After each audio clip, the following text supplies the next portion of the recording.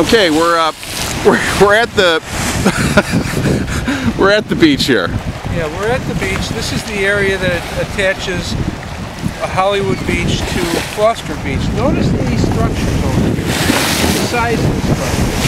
Notice the waves that are hitting the structures. It's important to remember that a mere few years ago, the lake level was literally five feet higher than it is right now, and these waves would not be stopping at the at the wall, at the vertical wall. They would be overtopping the vertical wall and running up here.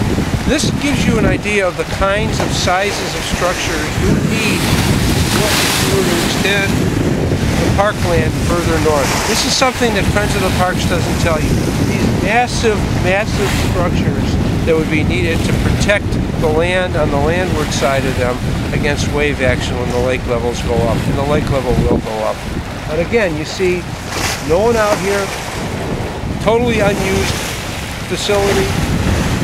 If you can pan down to Foster Avenue Beach, I detect three or four people at the far end of the beach over there. So now we've seen two large beaches maybe eight to ten people on them on a beautiful Saturday morning.